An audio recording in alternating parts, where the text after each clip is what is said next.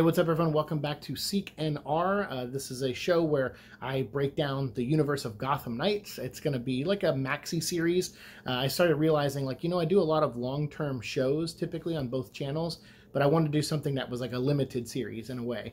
And so, what I thought about was this video game Gotham Knights. Now, I know a lot of people out there, typical format is they do live streams and talk over it, or they do like reviews like angry joe style and they have skits and everything or they just do reviews like i do where i sit in a chair i'm not as creative and i just talk about the stuff i liked and didn't like and i just thought that was so standard i said why don't we really dive into this game and and maybe other games in the future if you guys end up liking this format uh, where i'll just take like a chapter of the game and we'll just talk about that how i felt while playing it the stuff i learned so we're going to get into spoilers definitely for gotham knights but I figured a lot of people out there were kind of ripping this game apart. And when I was playing it, especially at the beginning, I was like, what are they ripping apart? Like, yeah, there's some graphical issues, and there's they had to do a couple patches for the Xbox version. And just in the first like week of the game, I think there was like, like two or three patches. Um, so yeah, there was bugs for sure, and we'll talk about some of them uh, and when I faced them in the game. But I figured there's eight chapters in this game. So I'll do a video on each chapter and we'll show some footage of like what I played in that chapter. And then we'll also talk about um, some of the side quests. So this might be like a 15, 20 episode series uh, where I'll also look at the toys because I have the McFarlane toys still in the box. Um, actually, they're right behind me down there. Um, and then also that we'll talk about, which is the Court of Owls comic book, the graphic novel with the mask. And I have volume two as well. And we'll do a review of the Court of Owls comic book because this game kind of pulls a little bit from that. Actually, there's one sequence later on in this game that pulls heavily from a, a sequence, a fan favorite sequence in that graphic novel.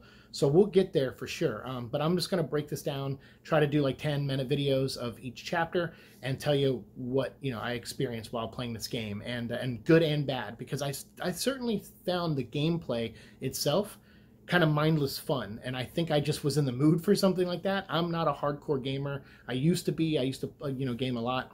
But you know i just time and getting older and, and all these things like uh, plus i have problems with this game actually. Uh, this game has a seizure warning at the beginning. And there was a couple times where i almost got triggered with a, se- a seizure and i had to stop the game. And it got i got sick and like and i had a reaction to it. And so like as far as like nauseous and dizzy and, and i'd have to turn the game off. And then what ended up happening is i kind of calibrated my TV a little bit better and moved it back further. so, because I have a, a, decent sized TV that I bought, and uh, I'm like, okay, maybe if I just sit further back and it's not like all the because when you're driving the motorcycle in this game, like all these white lines go by to give the illusion of speed. But I noticed the character and the, the on the bike is not really going that much faster. Um, so it's just like to add illusion that you're going faster to to I guess make it seem like you're not looking at a game that's moving at 30 frames per second and that it's moving faster than it is, but it isn't. Uh, so that made me nauseous. And so I found the further back I saw I sat, it didn't bother me as much, obviously. So I was like, okay, this is cool. It still bothered me a little bit, but not to the point where I had to stop every hour because the first game, like the first chunk of this game that we're talking about today, chapter one, um, this is the intro of the, the, the game. So the cutscene in the beginning I thought was awesome. And I remember watching it and seeing Ra's al Ghul fighting Batman and just being like, wow, this is amazing. Like this is what a great way to start this game off.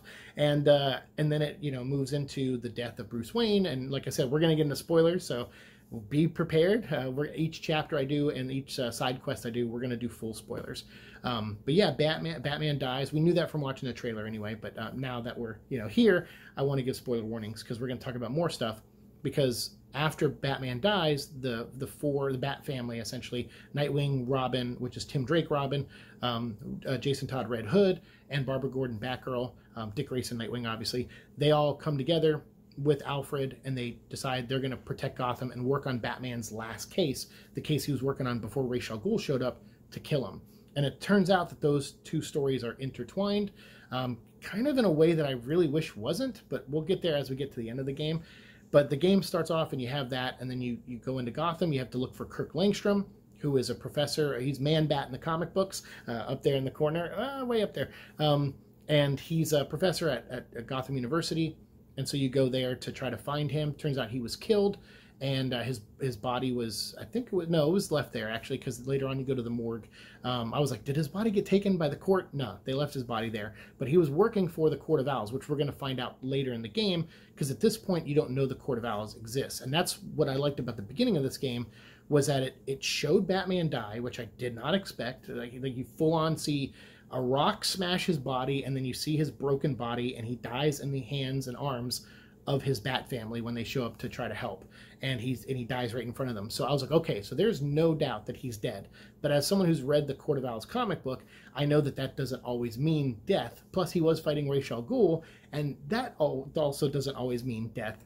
Uh, so so already i was skeptical but i but i had theorized way back when when, when they first announced this game they talked about the court of owls i was like i wonder if bruce is dead is there a chance he might uh, be frozen by Mr. Freeze because that's part of the storyline in the comic books. Mr. Freeze has helped fine you know fine tune the cryogenic uh, uh, process for the Court of Owls, and they use his technology to freeze people and then reanimate them as Talons. So I was thinking, oh, that's Mr. Freeze is in the game. He was one of the first villains they showed. So I thought it was all going to tie together. It it doesn't. Uh, I was right about the Bruce Wayne thing, like I said, we'll get there later. But I was not. Uh, I was not very. Uh, you know, I was really bummed that some of these characters and stories, the side quests, did not really connect to the main story. Um, I thought that was a bummer for sure. Uh, but so at the beginning, after you you know find Kirk Langstrom's body, then you have to break into the police department and uh, and sneak around, uh, which was fun. Got to do some stealth stuff as uh, Jason Todd. And then I go into the morgue where you find Kirk Langstrom's body. You have to do like a forensic test on him, make sure it's really him, make sure he's dead, and uh, and then try to get some clues or evidence. And then while you're down there, you run into Talia al Ghul, who shows up and she incinerates her father's body. So her and Ra's al Ghul uh, obviously were part of the League of Shadows. And she's like, yeah, he went rogue, he went crazy, and he uh, jumped in the Lazarus pit and then came and uh, attacked Bruce. And it led to his death. I don't know why, but now the League of Shadows are, are without a master, and I've been disowned, is what Talia's saying. She's like, so I'm just here to kind of make sure he's dead, dead, and uh, and also to just kind of keep an eye on the the League of Shadows activities, which you find out later is kind of BS. but she does take her father's body, puts it in an incinerator, and kills him and burns him for sure. So then you know for a shadow of a doubt that Ra's Ghul in this universe is gone for good. Um, there's nothing to you can't reanimate the ashes, but uh, but Bruce they didn't they didn't show any conclusion there other than he got buried. So it's like uh, okay, all right. Um, you know, and the first clue you get for the Court of Owls existing, one of them is like a page and it's in the same cemetery that Bruce's body's in. So that was also kind of tipped its hand a little bit towards where the story might go. Um, but then I got to play in the first chapter. I, I, what I would do is I would go out. There would be random missions that you can just select and, and pick, and I would do those. And then I would like upgrade my stuff, craft new armor, craft new weapons, um, check my emails. there was like stuff there for side stories. Um, and then there was a, a point where I was like, okay, I did all the the side missions, and then I picked the main the main mission, and once you're done, there's no other activity in Gotham other than just like random crimes.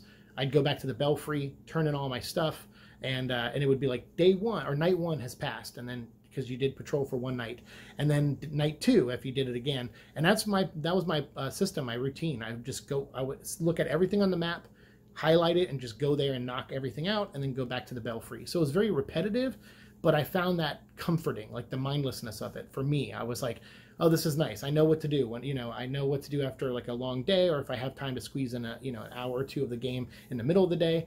I know that if I do all the missions once and go back to the Belfry, probably an hour has passed. And that is a good jumping off point if I ever need to. So I did that as Jason, and then I got to play as uh, Barbara. She was the second person I played as, and I ran around with her, went and talked to Talia at one point uh, up on a rooftop and tried to get a little bit more information about her. And then um, I also found out about Harley Quinn and that she's at Blackgate. And there was, I guess, a breakout going on. I, I, I guess it, it was definitely looked like a breakout, but uh, they were saying that Harley had information regarding uh, Bruce's last case or Batman's last case. So I switched over to Nightwing after I did all my daily missions and nightly missions as Barbara Gordon. I switched to Nightwing and then went to talk to Harley. And she gave us some clues. We had to go dig around Blackgate for more information. And then we finally started piecing together a possibility or a possible clue towards the Court of Owls. And that's kind of where chapter one leaves you is with that setup and also like a, a reference to Penguin and that he's probably going to take part in the story moving forward.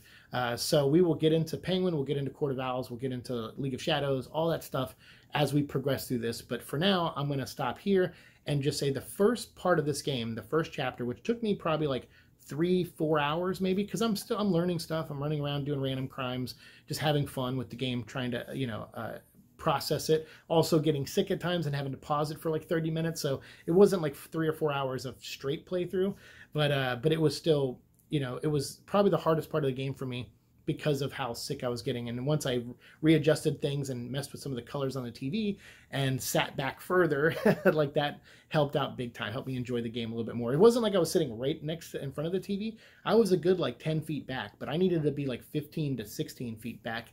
Um, that made the, the, the, biggest difference ever was moving back that much further. So I'm glad I did because uh, it, it made me enjoy the last half of this game a lot more. So the first part, I was kind of confused. I was like, yeah, there's some graphical problems, there's some glitches, I'm running into some bugs, but nothing that really upset me. I, the story had locked me in. I was interested because of all this promise of the Court of Owls and how they were going to translate them and what they were going to do, and this big mystery about Gotham and all the crime that has been there all these years, and all these like big one percenters that have been hiding in the shadows, waiting for Gotham to kind of need them more.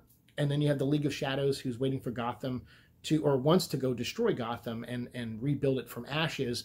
And you have the court of owls who like want to keep financing gotham so that they can get richer and then you know put the push the poor down even more. So both had ways of destroying gotham and that's what the game sets up. It's like okay you have the league of shadows who want to destroy this place and you have uh, that, that want to destroy it physically and and burn it and then rebuild it and destroy its spirit and everything. And then you have uh, court of owls who want to destroy the heart of gotham and just push everyone down and raise themselves up. And uh, and so I like that approach. So at this point for a story, I was like, okay, I'm intrigued. Yes, there's problems with the gameplay and stuff, but I'm at least intrigued enough in the story to see where it goes from here.